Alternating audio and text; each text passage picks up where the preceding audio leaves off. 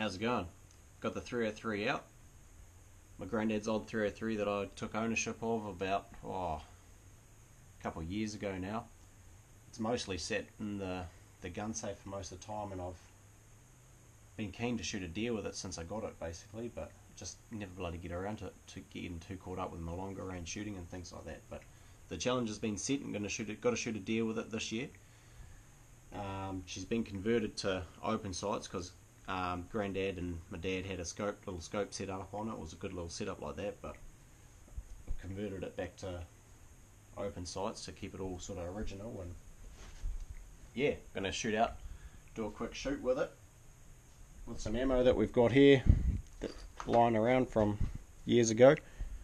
Make sure she's still on. Last time I shot it at 100 meters, it shot a, not a bad little group for an open sight 303. So go out and make sure she's still all good, and then hopefully get out for a hunt tomorrow, go for a bit of a bush stalk, see if we can bump into anything. But yeah, I'm looking forward to just taking her out and going for a walk with her actually. Be bloody good. Cool. See how we get on.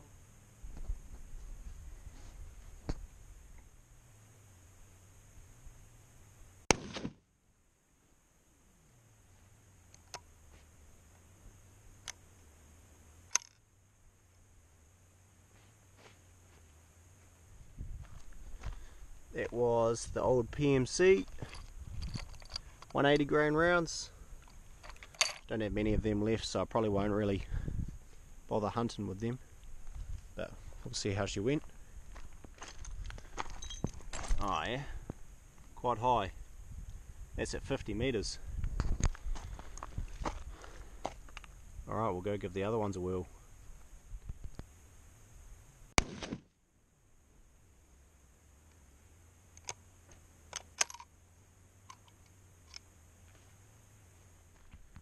Go and see what that did. There's a Highland 150 grain round. Up high as well.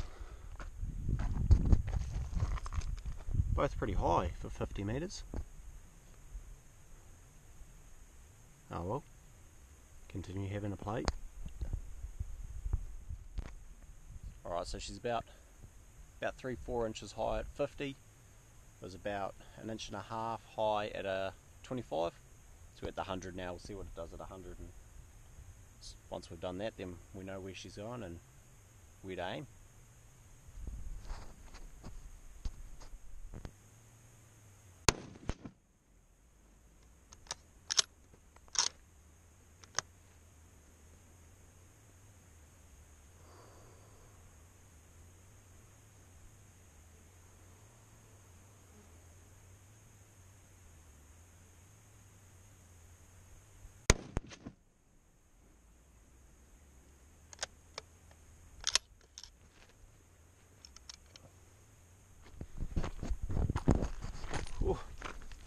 She's pretty high again. Problem is I've got no more adjustment to go any lower. That's as low as I can get me adjustments to go on the open sights, so gonna have to settle with that. That's right. I just now got to aim a pinch lower than where I want to hit and she'll be bang on. Easy as smoke a deer in the bush. Righto.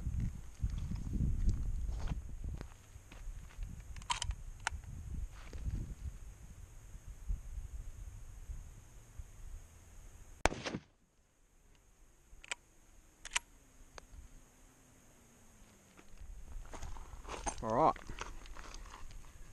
Two shots here. 100 metres. Not too bad. That's when I was aiming. I was aiming about the bottom here to try and get them sort of centre and that's not bad for open sights. A little old 303. Bloody good. There's that standing shot I just took.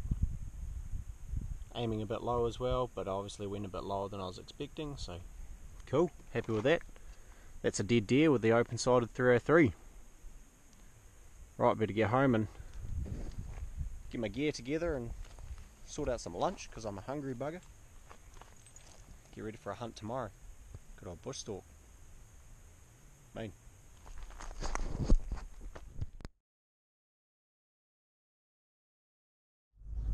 Four thirty in the morning. Yeah, let's go hunting.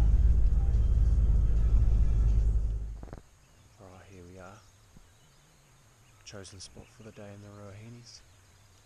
New area, haven't been here before. Often the case, I like to check out new places all the time, so go for a wander. I've just seen two deer just on the farm edge just up here sneak into the bush, so they'll be just up in here somewhere in the bush. So that's where I'm going now that I'm on the public side of the fence. Up there, stalk into the bush and then just follow my nose, really.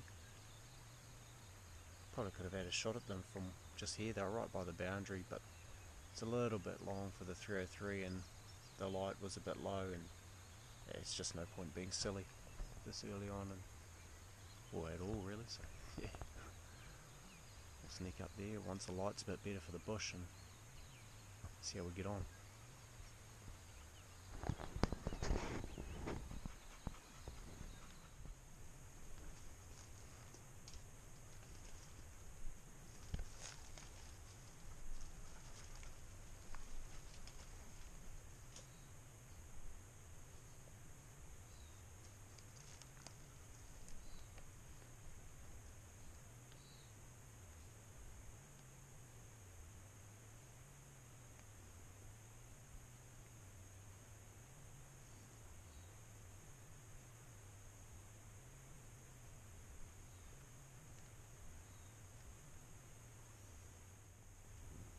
Oh, I've been stalking. Stalking up the ridge for about two hours now. Seen a bit of sign. Thought I heard one at one point, but I'm pretty sure it's just wood pigeons. Heaps of bloody wood pigeons always putting you on full alert. Oh, we'll carry on. The bush is getting a bit nicer as we climb, so keep climbing and probably start sidling around soon.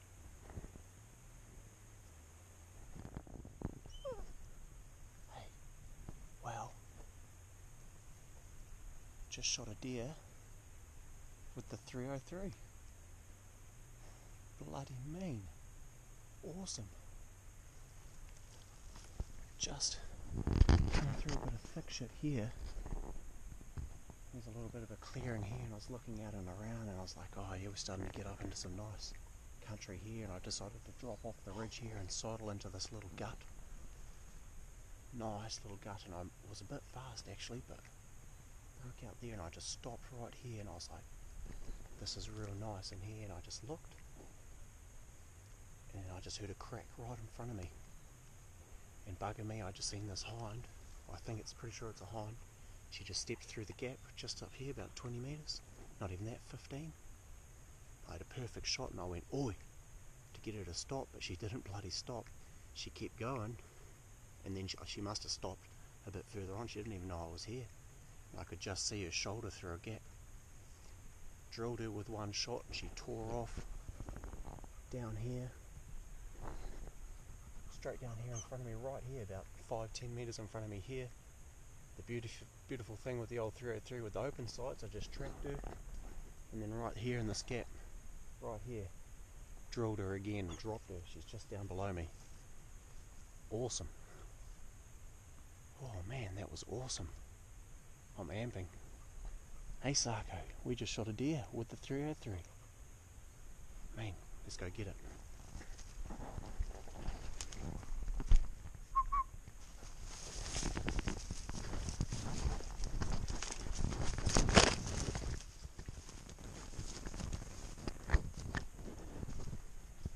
Hey.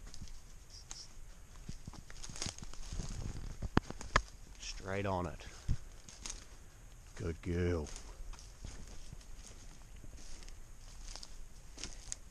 Good girl. Good girl. Good girl. Good girl. Good girl. Good girl. Beautiful. Beautiful. Good girl. Good girl.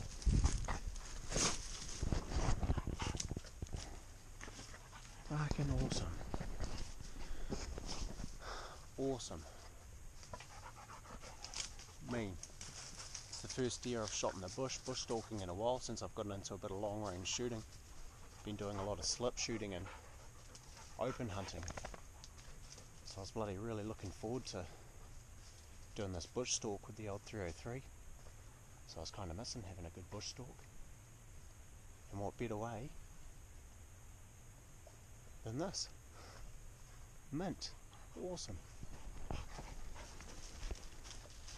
Hey girl. Well done. Good girl. Good girl.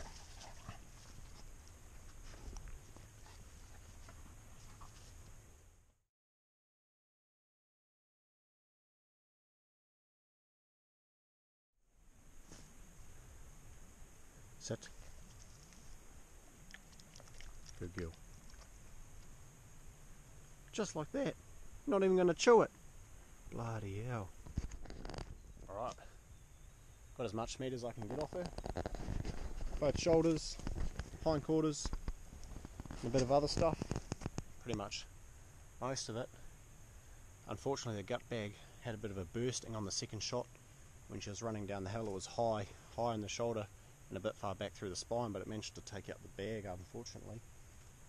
But luckily I managed to whip off all of this stuff and keep it clean. So we'll chuck her on and shoot back down the hill, back to the truck and take it home and stake it and mince it, I think. Bloody awesome. Cool. Better crack on.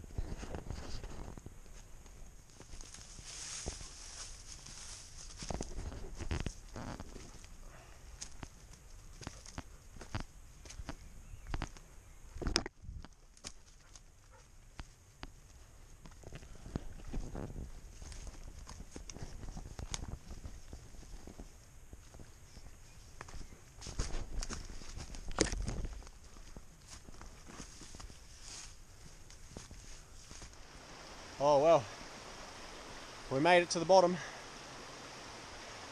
There's one thing I hate about the bush, out of all the things I love supplejack. Oh man, supplejack. Is anyone out there who likes supplejack? Let me know. Holy shit. Oh, stoked to be at the bottom. Now just to cruise out along the flat to the truck and home we go. Minter. Girl.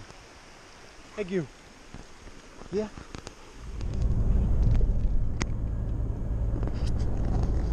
Oh well. It's 10 o'clock now. Got up at about uh, 4 o'clock this morning I think. Got on the road at 4.30. In the bush by 5.30. And yeah, out by 10. Not a bad little morning get on home and hang this meat up, do a bit of butchering, turn it into steak and steak and mince. I think I'm sort of lacking in that at the moment, so that's what it'll be. Yeah, bloody awesome. Bloody good to take the 303 for a walk. It's the first hunt I've had it on. I've had it in my safe for a few years now, like I was saying, so it's bloody cool to shoot an animal with it. Really cool. Those follow-up shots are so much easier with the open sights in the bush. It's just a breeze cool. Cheers for watching and catch you on the next adventure.